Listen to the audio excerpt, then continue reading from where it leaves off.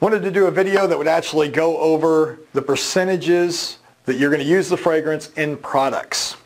Um, with that being said, candles is the easiest one to start with. With a candle, you're going to start at 5%, you can go up to 10% or even 15%, but really with that number, 5 to 7% is about average of most people. Can you use less? Absolutely. Can you use more? Yes, but you're going to run into more problems. Uh, 10%, you'd still be good. Strong candle, no issues. 15%, you're going to have leaching, you're going to have stuff falling out, you're going to have problems. Soaps. Soaps, usually 2 to 5%. Uh, that's a good place to start. You don't want to go past that. Uh, you will start running into some issues. Um, the main thing you're going to look at is your IFRA limits.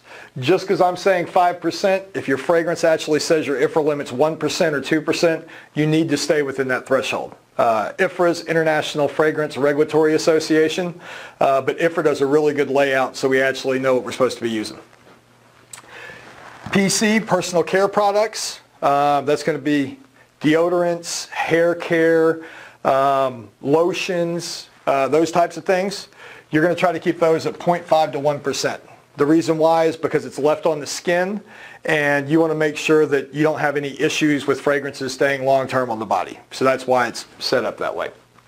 Potpourri, uh, this is going to be dried flowers, uh, cinnamon brooms, those types of things. They're going to be sprayed or misted, uh, but with those products, 5 to 15%. Perfume.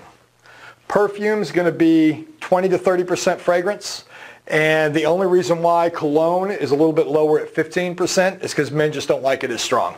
The rest of that's going to be made up of alcohol, add a little bit of water, and that's that product.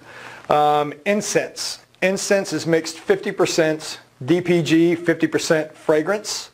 Those are mixed together and then dipped with the incense punks. It's going to be as, as much will absorb into the incense.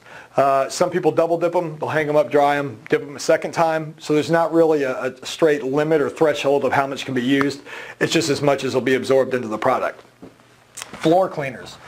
Uh, this is uh, multiple products, multi-purpose cleaners, those types of things. You're looking at half a percent to a percent. Most people use about 1%. Can you use more? Can you use less? Absolutely, just good rule of thumb. If you're buying the fragrances already cut to be water soluble, you're going to have to use more because the surfactant's already in it and it's cut. So instead of using 1% of a straight oil fragrance, water soluble, you're going to have to use 3%. Water soluble air fresheners, that's the same thing. Water soluble, it's cut and then there's water added to it. You're looking at 5 to 10% fragrance. Oil-based fragrance. This means you bought the fragrance from us, you poured it directly off into bottles, and you're just using it 100% straight. There is no limits 100% straight. Um, air freshener oil based, but you want to make your own cut. So it'd be 20 to 30% our fragrance, and then you would make up to 70, 80% with whatever you were going to cut the fragrance with. Air fresheners, multiple choices.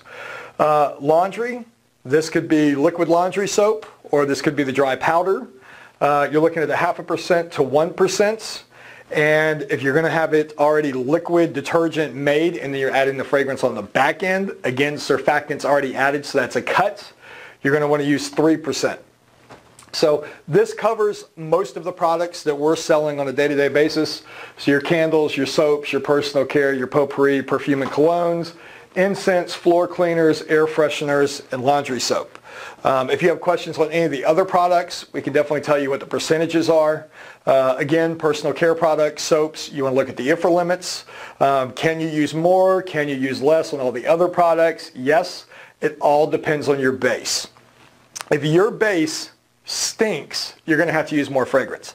If your base smells good or has almost no odor, you're going to get away with using less.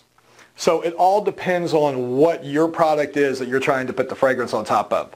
Can we tell you that? No. If you send us your base, can we give you a recommendation? Absolutely. So anything that we can do, just wanted to make a video real quick just to give you guys usage levels. Aromatic Fragrance International.